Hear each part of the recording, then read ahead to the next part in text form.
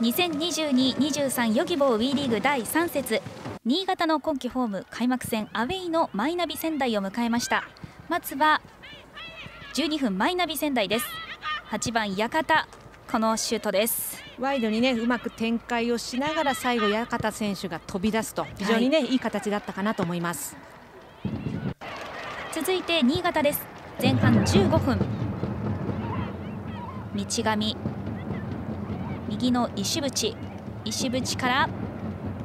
武田こぼれたところ。道上ですまあ、本当にね道上選手がうまくためを作りながらというね新潟の形出せたんじゃないかと思いますね。続いて32分こちらも新潟。石淵萌実のシュート。キーパーナイスセーブです。ここはうまくねコントロールで相手ディフェンスをかわしてというようなシーンになりましたけれどもね。惜しかったです。松本真美子守りました。エンド変わって後半です47分新潟です。石渕萌実から13番の加藤打っていきました。いや今日の試合に関してはね本当にミドルレンジからのシュートの意識というのも非常に高かったと思います。そして48分新潟。道上。そして白井左足打っていきます初出場初先発の白井見せていきました。そして66分マイナビ仙台です。新加入のブラトビッチシュートを打っていきます。いやこれぞね世界基準というようなね本当にこのミドルレンジからのシュートの意識。本当にね彼女の状態というのも上がってきてるなというのを感じさせてくれたそんな一発だったかなと思いますね。鋭いシュートです。そして89分先制決勝ゴール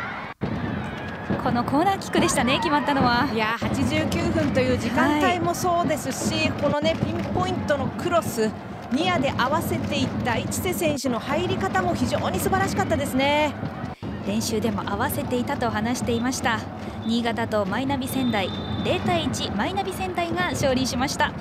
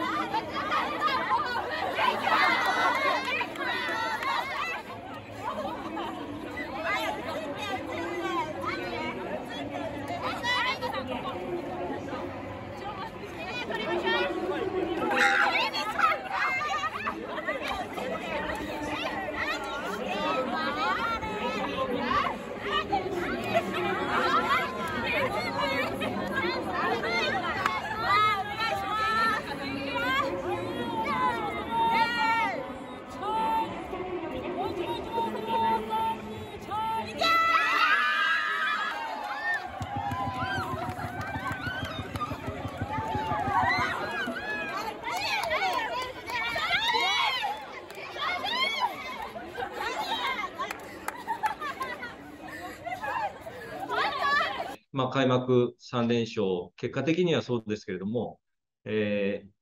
新潟さんとの差はほとんどなかった。まあ、そういう意味では、本当にどっちに転ぶかわからないゲームをこうやって自分たちの方に引き寄せられたことは非常に大きかったなというふうに思ってます。えー、ゲーム全体としてはやはりもっともっとそのボールを動かしたいですし、もっとゴールに近づきたい、そういうチャンスを増やしたい。まあ、そういう意味ではやはり課題は多かったですし、えー、守備に関しても、もっと高い位置で奪いたい。もっと、えー、早く奪い返したい。まあ、そういう意味では、もっともっとというところで、選手がみんなそういう方向に矢印を向けているので、まあ、このチームはこれからもっと上に行けるチームなのかなというふうな感触も今、えー、感じています。まあ、そういう少し、えー、結果を出せた中で、ちょっといろんなことを考えれた、そういうゲームだったなというふうに思ってます。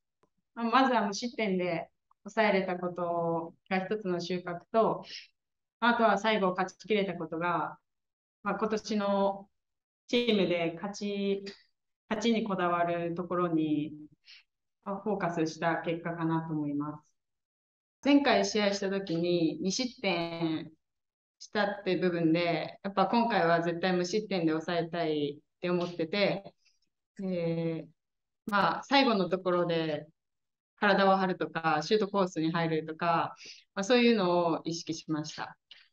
前回やられたところで、やっぱ体をぶつけられて、まあ、うまくターンされた部分があったんですけど、やっぱ本当に上手な選手だと思うので、そこを、ここは気をつけた部分だし、あとは起点に、起点をできるだけこう自由にやらせないように意識しました。今年は自分の目標はこういうチームが困った時に助けられる選手になりたくて、やっぱそこで、ま、こう、点を取りたいって思ってたので、まあ、エミさんならあそこ蹴ってくれるなと思ってて、まあ、信じて走ってよかったです。勝てるチームを目指してるっていうか、勝って当たり前のチームになれるように、どんどん勝ちにこだわって、内容もこれからは伴って成長していきたいなって思います。